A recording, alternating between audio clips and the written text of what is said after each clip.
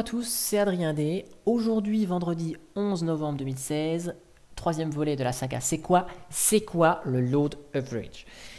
Fait plusieurs fois que on me pose la question c'est quoi ce load average? Je me dis ouais, il y a un jour je vais faire la vidéo. Et puis là, encore une question sur euh, un forum qui euh, posait, euh, qui demandait c'est quoi le load average? J'ai dit allez, c'est parti, on fait la vidéo. On prend un petit peu de temps pour faire la vidéo et vous expliquer ce que c'est.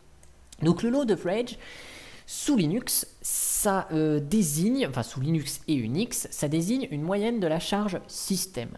En gros, c'est une mesure de la quantité de travail que fait le système durant une période concernée.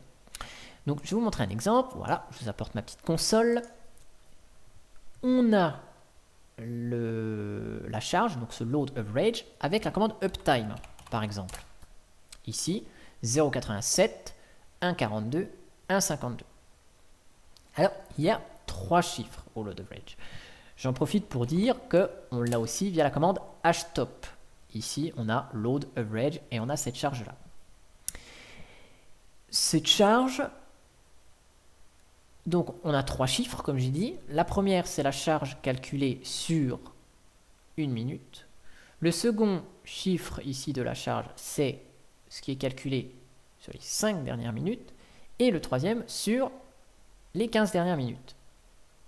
Donc là, on voit que euh, depuis 15 minutes, j'ai une charge moins importante sur ma machine qu'il y a 15 minutes. Alors, on va quand même répondre à la question c'est quoi le load average Parce que là, je ne dis pas ce que c'est. Je vais faire une analogie avec des voitures pour bien comprendre le truc. Ça va être très schématique, très simple à comprendre. Je prends mon euh, PC, un PC avec un cœur et un processeur.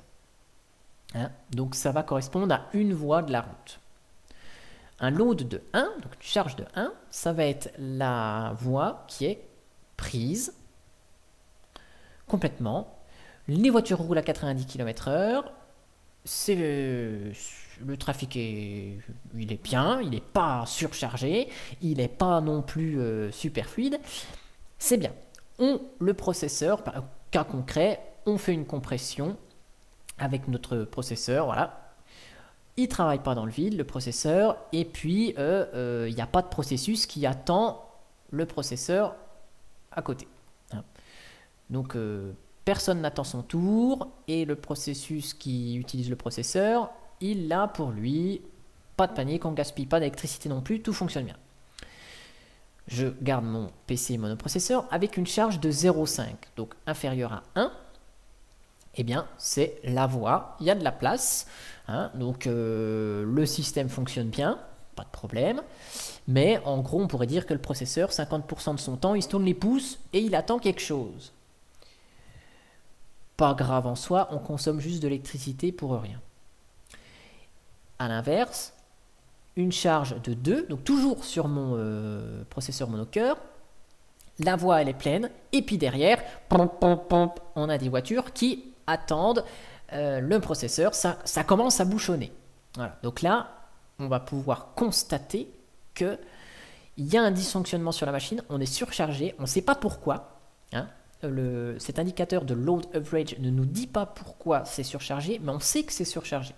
Après, on va utiliser d'autres outils comme Comme euh, les logs, comme bien d'autres choses pour voir ce qui se passe.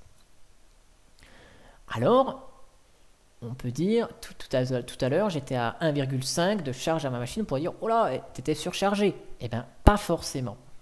Parce que si on prend deux voies de la route, eh ben, on est dans le cas d'un dual core. Si on a deux cœurs sur notre processeur, à ce moment-là, on va être avec une route à deux voies.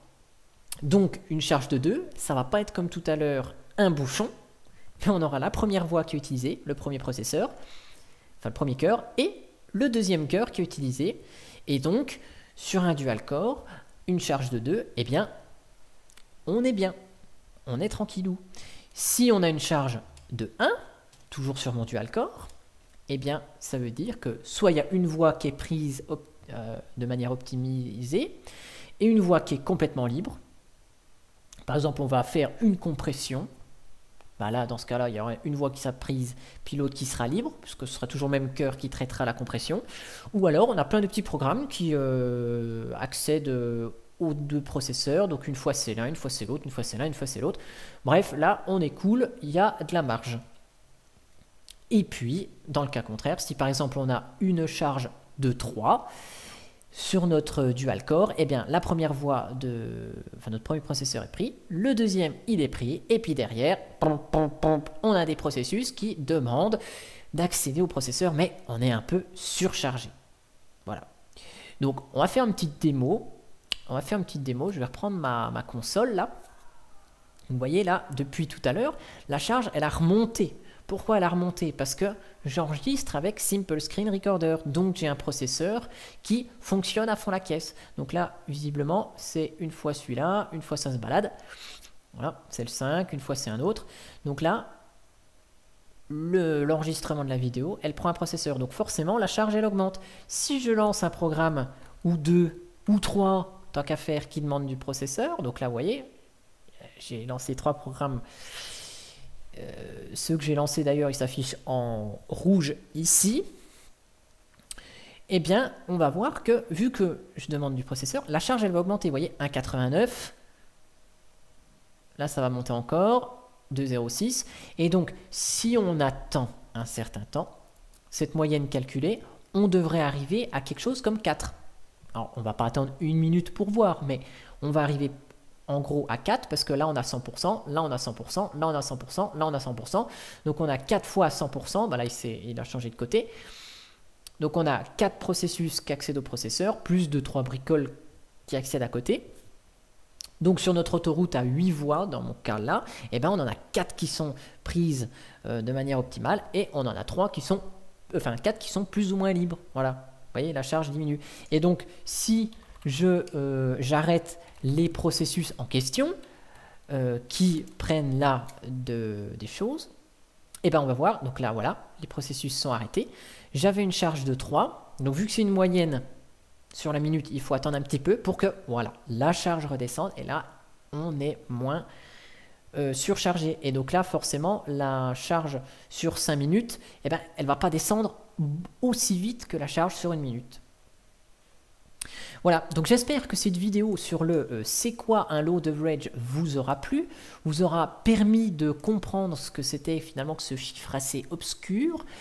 Et j'espère bah, du tout le moins que la vidéo vous aura été utile. Voilà, sur ce, moi je vous dis à bientôt pour une prochaine vidéo. Allez, ciao